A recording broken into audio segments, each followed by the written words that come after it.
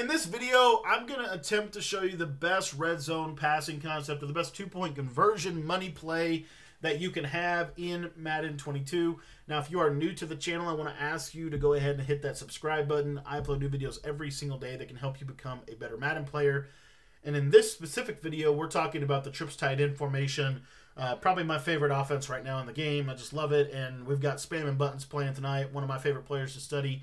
And so I wanted to do this kind of as a salute to him. I mean, he he is someone that I would consider the best trips tight end player that not very many people know about. And I hope that people find out how good of a player he is tonight in the uh, tournament. He's taking on the reigning belt winner Noah.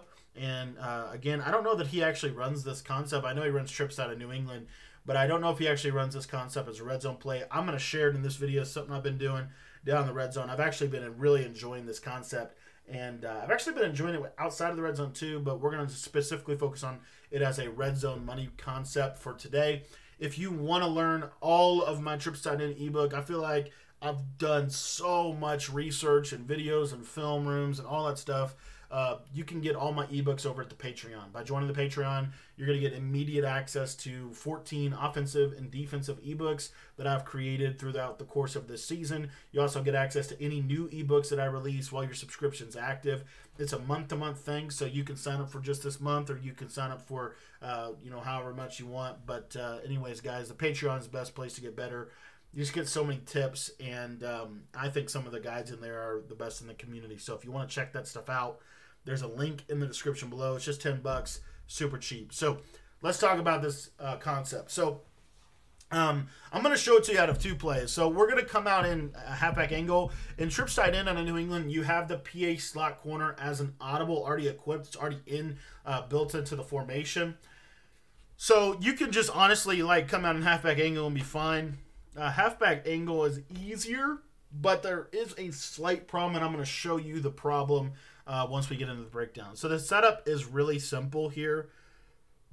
Like literally, you don't really even need to do anything. To be honest with you, um, just snap the ball. It's fine. And if you watch this out route on the left, it's going to get wide open. Now, I personally don't like to get blitzed. So if I want to, I can block my tight end here. Um, I'm going to show you the one coverage that gives us a problem, and that is cover three.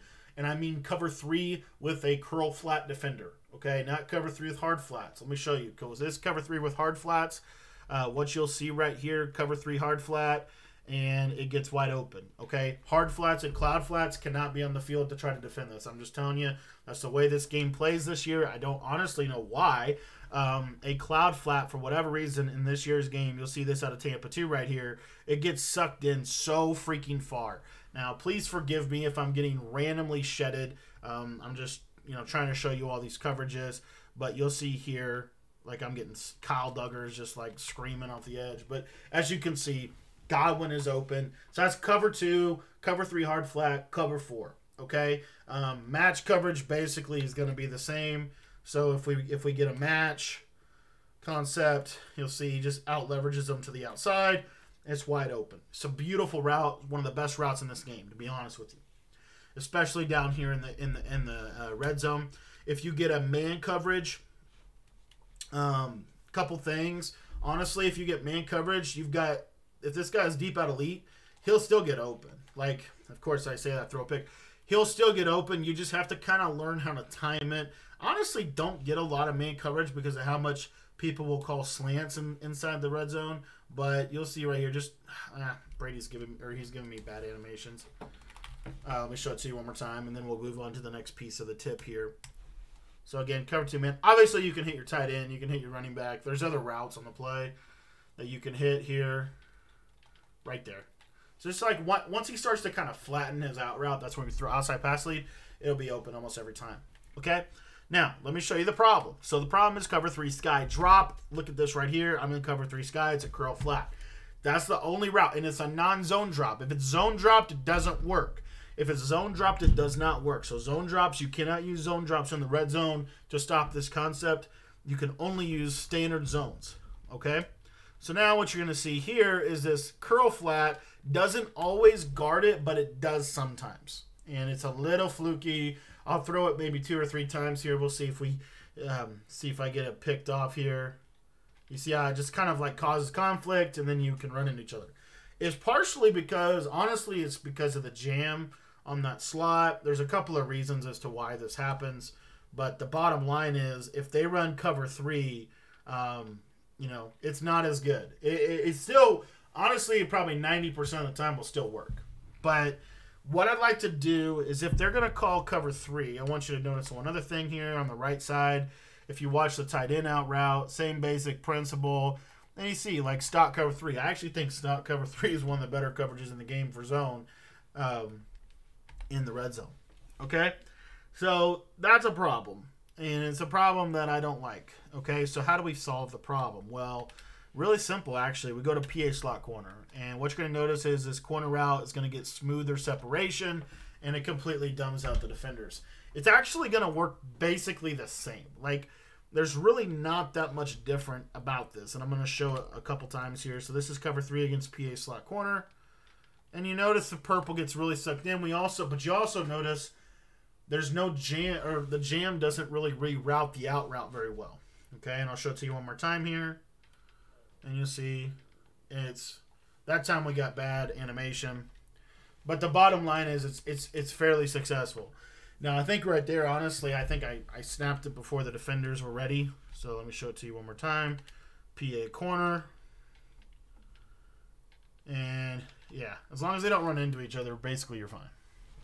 Okay?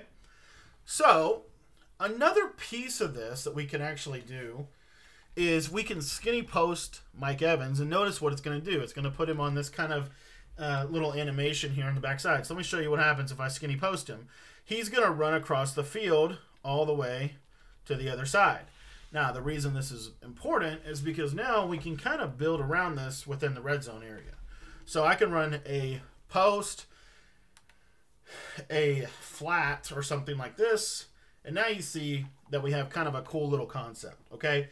So if you ever have any trouble with cover three, my favorite route combo in the game is to post my outside receiver flat my middle receiver so there's no jam animation, and then you could use a corner or an out route to circle and just pass like that up into the outside. As you can see, is fairly effective. Okay, another little trick that you could do from PA slot corner is uh, you can leverage the power of a hitch route. I think hitches are very underrated for holding zones.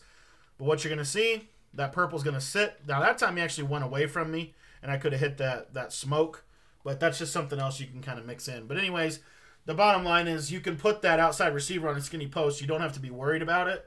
And so now you see how we really manipulate that cover three. So to me, that's one of the best red zone uh, passing concepts in the game.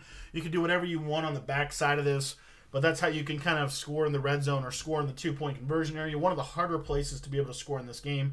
Thanks for watching the video. If you want to get the all of my ebooks join the patreon you get all of them not just the trips tight end one we've got 14 offensive and defensive guides available to you a lot of the meta stuff a lot of off meta stuff so if you want to get better join the patreon. There's a link in the description. So if you're still watching you want to join head on down to the description below and click the link to join the patreon. Thanks for watching